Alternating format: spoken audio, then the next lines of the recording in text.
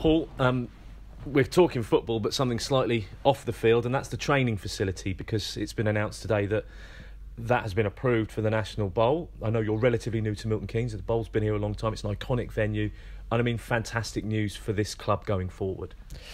Yes, one, it's a training ground, a purpose-built training ground that the club can design and call its own. And secondly, it's the venue. It's it, it it's even you know even talking about a training ground at the bowl, I've been at there myself, had a look round. It's just uh, it's tantalising the whole the whole thought of what can be achieved at that venue. So I know it's been a, a, topic here for a long time. It was a topic the day I arrived about having this new training ground. I've known about the, the sort of the progress for a long time. It's been kept under wraps and. It's, uh, it's, it's it's wonderful news, and I know Peter's delighted. We got to this point. Still a lot of work to do to to create you know the vision. But uh, it, I mean, it's not just a training ground. It's going to be it's going to be a fabulous training ground. So um, everyone's really pleased.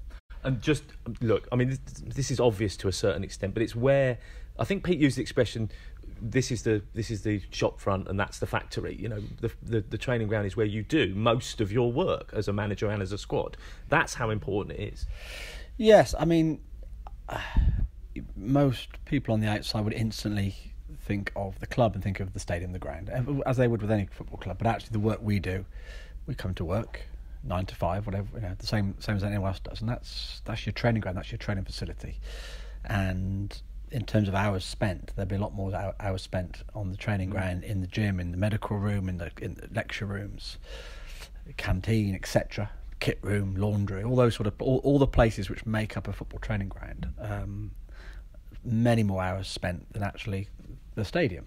Um, but aren't we lucky to have what looks like um, the the perfect combination? You know, a wonderful stadium like this, and then a training ground that is that has you know the expectations, of course, are very high all of a sudden. But you know, um, a training ground that is of a level that could that could match this stadium. So, uh, yeah, I think for, us who work in football, it's uh, the training ground is is the missing piece here, and we're really looking forward to getting that solved.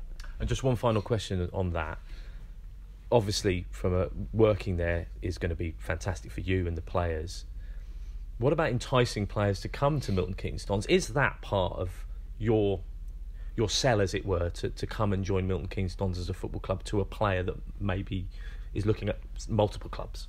Well, it all helps. I mean, there are so many factors. Actually, we're talking recruitment. There are so many factors and variables that apply, and it's choosing the most important factor to that player.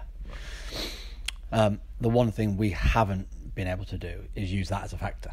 So it's it's never been a, it's never been really a topic. We've had we've we've had plenty of pluses we can, mm. plenty of spot positives we can spin, plenty of you know tours around the stadium and everything else. But the training ground has never been a big a big selling point. It will be, and I would guess that in the future, should the club gain the success, the the the, the progress intends to do, and we again go into the championship one day, then it, it, will become more of a factor because that then you'll be looking at the other clubs that we're up against if we're trying to recruit and sign players. Then I think then I think it will be not just great, but it'll be a necessity to be able to to compete because I think that uh, um, whereas we're not complaining at the moment, you know we've got no complaints really what we do. We know that should the club go forward, it's a big factor, and um, if we are one day as Peter wants to us to be to establish ourselves a level above, then the training ground is a must. Going back to Tuesday, and we spoke briefly about it, and I, I thought a lot about that and watched, rewatched bits of the game as well, and um, played well. There were there were points in that game that your side played really well, and I, I, you know I think a lot of people were very frustrated there wasn't something from the game. Can you take those positives? Surely you have to take those positives, don't you? A, there was a lot to work on.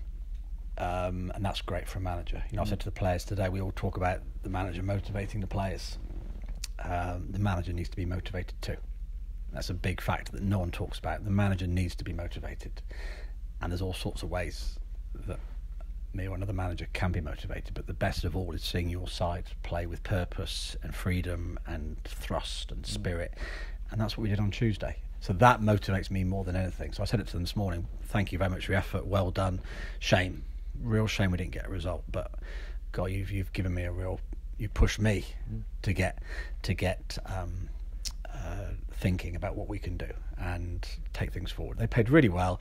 There were one or two bits and pieces missing in the performance, but um, it was a it was a it was a really good game of football where the opposition did something, stopped us, and then we responded and we deserve to go. There's no doubt about it. So we go forward. I think with that positive and that confidence behind us, it doesn't take away the importance of this Saturday. More or less, we still want to win this game against Southend. But um, in terms of how I feel about it, I think everyone's more confident going forward um, than we were a week ago because we've had two two really good performances. One of which was a great win, became very close against Ipswich. So things are, the wheels are turning, and we're going to have to be creative with the way we play. We've you know Rhys Healey's going to be out for a while, so again it's another forward.